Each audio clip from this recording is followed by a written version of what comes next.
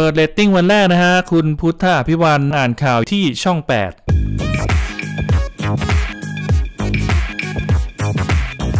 เรียกได้ว่าสิ้นสุดการรอคอยนะครับสำหรับแฟนคลับของคุณพุทธพิวันนะครับ หลังย้ายมาอยู่ช่อง 8 อย่างเป็นทางการ ในรายการลุยชนข่าวนะครับ นอกจากขอฝากเนื้อฝากตัวกับแฟนๆแล้ว ก็ยังได้ฝากตัวกับเพื่อนผู้ประกาศข่าวร่วมนะครับ อย่างน้องเมย์ชนิดนันนะฮะโดยคุณพุทธก็ได้แซวตัวเองว่า วันนี้ลองดูจะแย่งน้องเมย์อ่านข่าวไหมนะครับและมีบางคนบอกว่าตั้งชื่อรายการคุยคนเดียวจะดีกว่าไหมนะฮะแต่ว่าจริงๆแล้วนะครับรายการนี้ชื่อลุยชนข่าว ไม่ใช่คุยคนเดียวนะครับ สำหรับในการอ่านข่าววันแรกนะครับ ก็มีอยู่ช่วงหนึ่งนะฮะที่คุณพุทธหลุดปากพูดถึงทีวีช่องเก่าด้วยนะครับ โดยหลุดปากมาว่าทีมข่าวอมรินทีวี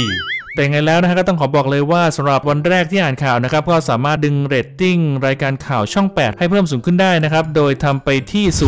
0.610 และ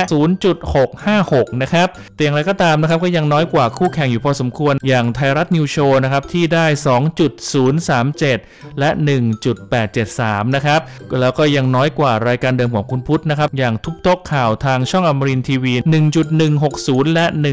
1.743 นะครับ ก็เรียกได้ว่าการอ่านข่าววันแรกของคุณพุทธกับทางช่อง 8 นะครับ ก็เป็นที่น่าพอใจอยู่ แต่ก็ขอเวลาอีกนิดนึงนะฮะ คิดว่าหลายๆ คนยังไม่รู้นะครับว่าคุณพุทธได้กลับมาอ่านข่าวอีกครั้งทางช่อง 8 แล้ว ถ้าอย่างนั้นแล้วก็ฝากทางช่อง 8 นะครับ อัดโฆษณารายการคุณพุทธเพิ่มอีกสักนิดนึงนะฮะ แล้วกลับมาดูกันว่าเดือนหน้าเรตติ้งรายการลุยชนข่าวของคุณพุทธเนี่ยนะฮะจะพุ่งขึ้นมากน้อยแค่ไหนนะครับ เป็นกำลังใจให้นะครับขอขอบคุณข้อมูลดีๆจาก LINE TODAY สยามนิวส์นะฮะ และขอขอบคุณเพื่อนๆที่ติดตามนะฮะ ฝากกดไลค์ กดแชร์ กด subscribe เพื่อเป็นกำลังใจกันด้วยนะครับเราเจอกันใหม่ในคลิปหน้าสำหรับวันนี้ไปแล้วครับ สวัสดีครับ